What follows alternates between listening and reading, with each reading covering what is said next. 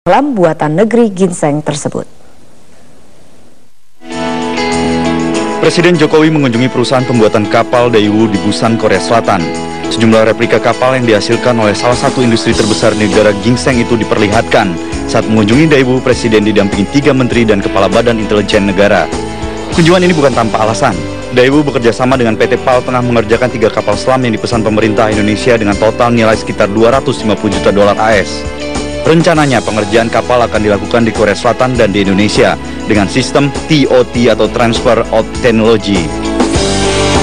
Salah satu alasan mengapa Indonesia memutuskan untuk membeli kapal Korsel adalah karena harga yang relatif murah dengan kemampuan yang hampir sama dengan kapal selam buatan Eropa yang dijual 450 hingga 500 juta dolar per unitnya. Secara kualitas, kapal selam Daewoo merupakan kapal selam canggih dengan kemampuan yang menyamai kapal selam seukurannya.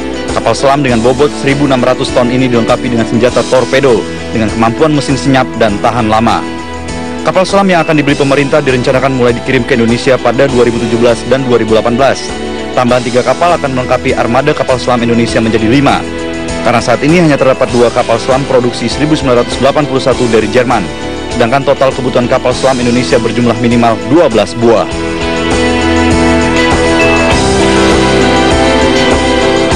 Hanya itu, Presiden Joko Widodo sebelumnya hadir ke CEO Summit di Busan. Ada hal unik yang terjadi di sini. Saat CEO Air Asia Tony Fernandes berbicara di depan forum, moderator acara harus memotong pidato Tony dengan alasan Presiden Jokowi hendak pamit untuk menghadiri acara lainnya.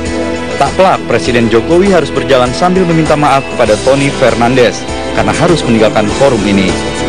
I can change back my speech now, sir. Rencananya kunjungan kerja Presiden Jokowi di Korea Selatan akan berakhir hari ini dan Presiden akan kembali ke Jakarta pada Jumat malam. Tim Liputan Metro TV.